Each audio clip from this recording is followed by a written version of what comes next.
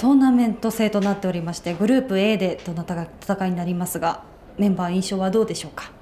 まあ、そうですね、あのすごくいいメンバーが A も B も集まったなっていう感じであの6月末には平塚であの10周年記念のあのまたガールズ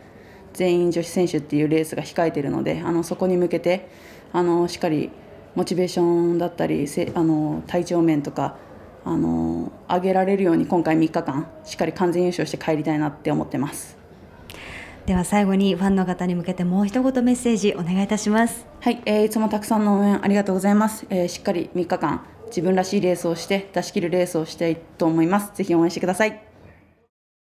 さあまずは近況のご自身のレース振り返っていかがですか？そうですね。最近は自力自在にえっといい位置を取ってから自分で動くっていうのを意識しているのでそれがまあ徐々にできできてきたのでいい方向には向いてるのかなって思ってます。そしてここまではかなりこう間も空いてましたよね。どう過ごされてました？そうですね。えっと結構空いてたので休養と練習としっかり調整もできていいコンディションでここに入れたと思います地元戦というところそのあたり気持ちの面ではいかがでしょう？そうですね。いつもとは違ってミッドナイトでお客様の声援は聞こえないんですけど、えっと、テレビの前で応援していただけたら嬉しいです。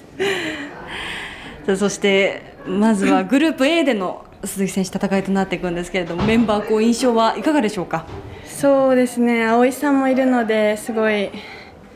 なんだろう強い人が多いんですけど、まあ、その中でしっかり自分の走りができたらいいなって思ってます。